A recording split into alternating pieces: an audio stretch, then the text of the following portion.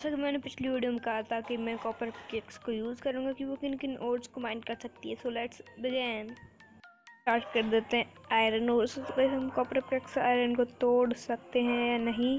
तो कैसे हम आयरन पिकैक्स को कॉपर पिकैक्स को आयरन तोड़ सकते हैं और गई हम गोल्ड को भी तोड़ सकते हैं। पर गई कॉपर बहुत ज़्यादा टाइम ले रहा है तो गई मैं इसको फास्ट कर दूँगा।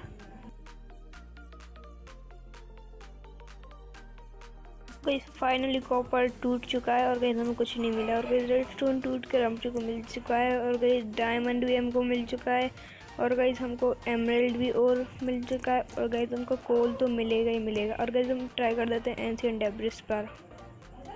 एंशियन डेब्रिस टूटने वाला है और गई एंशियन डेब्रिस टूट चुका है। भाई, मज़ा आया।